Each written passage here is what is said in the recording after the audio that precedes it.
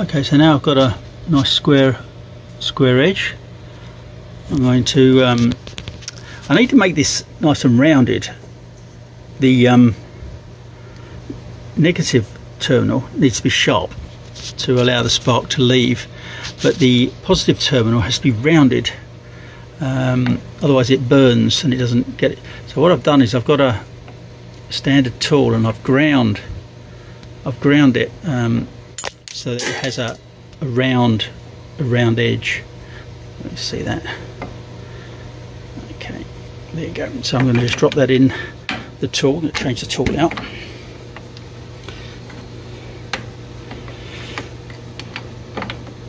Let's get rid of these quick release chucks. Okay. And I'm going to bring it up.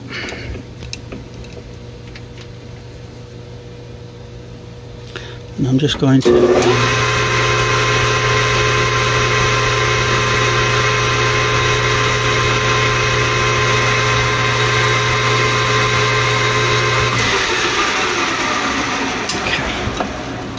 I don't know whether you can see that's now got a nice round on it. Uh, this burr I've now got to just take off with the other tool. Um, so great. Sterling and I are um, looking at making a, an ion drive uh, motor. Uh, so this is going to be its um, the exhaust port. It's a piece of plastic tubing that I've coated in graphite. Uh, and the next thing we're going to do is copper plate it uh, so it's conductive and then we will put a um, plasma electrode in the center and we'll create the, the, the, plasma spark going into the void which will draw um, air in and uh, as, as, the air, as it cascades onto the air it'll force uh, ions out the back and this is going to be our motor. So I've created the um, uh, the, the power supply for the um, thing. So let's just check this out. So that's not producing any ions at the moment because um, it's not a plasma field once we once we put that into the uh, cup here it'll create a plasma field which will then force the ions out the back and it'll power our little spaceship so um, all good fun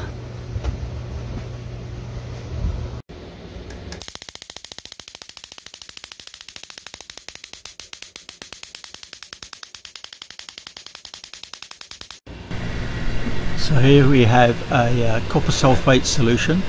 We have the um, sacrificial copper at the back connected to the positive terminal and the part we need to plate is um, connected to the negative terminal. We've got this at about 12 volts running at 2 amps. So um, let's see how it goes. Okay, so here is our um, plastic tube now copper plated I've got to clean all the sharp edges off because the um, the anode of the uh, is it anode? No it's the cathode. The cathode cannot um, have sharp edges. Um, so we've got to polish this up make it all nice and shiny. Now we're plating the anode at the moment um, and you can see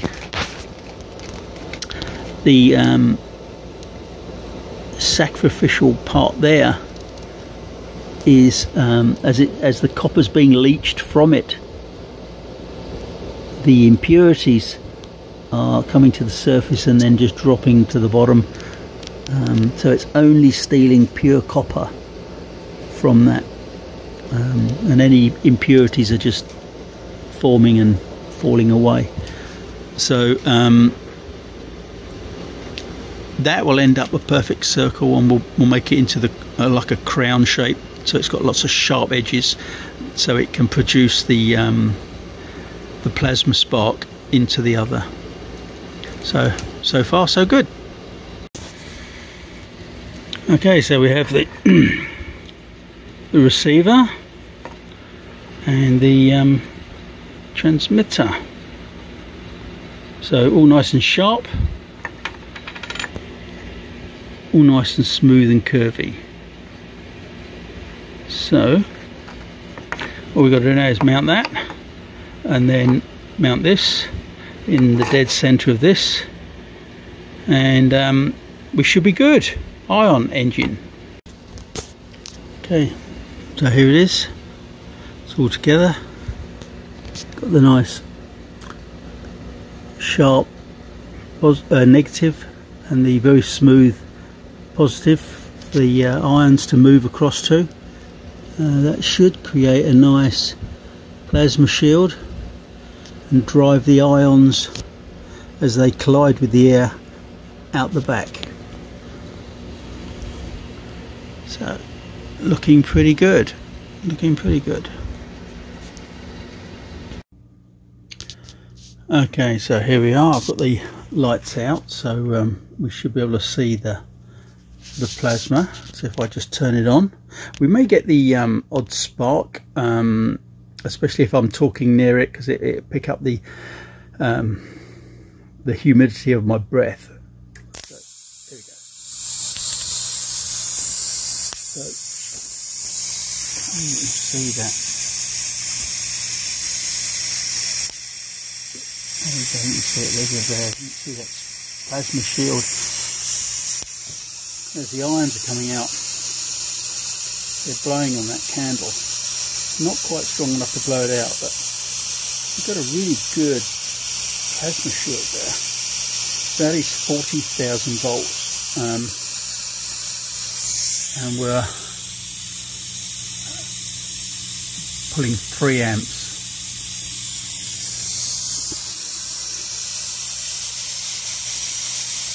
That's pretty cool the smell is amazing. Um, a bit like uh, during a thunderstorm, you've got that real strong ion smell in the air.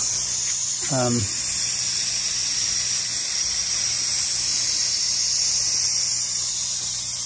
blow the candle out and see the flame. Okay, now we can see it. Not all the way round actually. Um, may need to adjust it. Okay. Pleased with that. I hope um, hope you've enjoyed this. Uh, any questions, uh, please leave them in the comments. Um, I'm going to mount this on a helium balloon and um, drive it and see how, how well it propels the balloon along. Great, thanks guys. See you in the next one. So here it is finished. You can see the sharp negative line and the nicely smooth positive. So the the ions uh, or the uh, the spark plasma will create a, a shield of plasma going onto there which will draw the air in create the um, ions and um, I've just knocked that off. Fuck it